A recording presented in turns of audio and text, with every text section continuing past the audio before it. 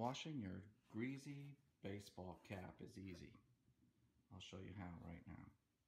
All it takes is a hat, a dirty hat, some dish soap, and a tub like this. You don't need to use a tub like that, but you can use a sink, plug the sink, use your dish soap.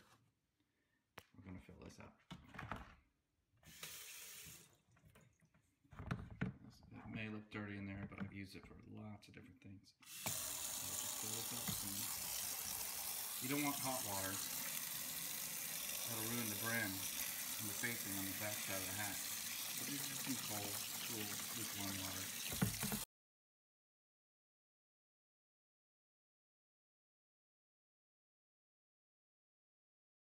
Take your hat.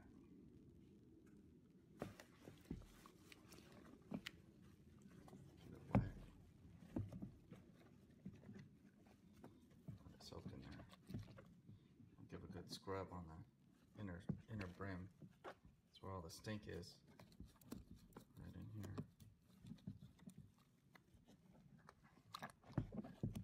Let it soak in there for a bit. Let it soak. Agitate, let it soak. Let it sit there for a few minutes. We'll come back. Okay, it's been a few minutes. And now what we will do is take this hat. Looks a little grimy.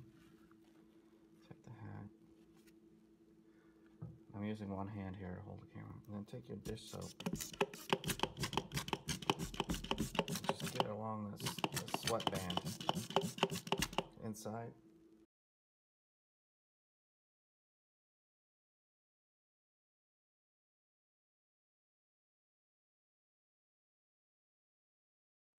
Your empty bucket, you put something on top. This is what I use. This is from our dryer. Put this on the top. I'm gonna have to put this down for a second. Doesn't fit perfectly, so I give it a squeeze right here. Pinch it on there. Set it on there. And then you can take your hat, your cap, and just set it on there to dry.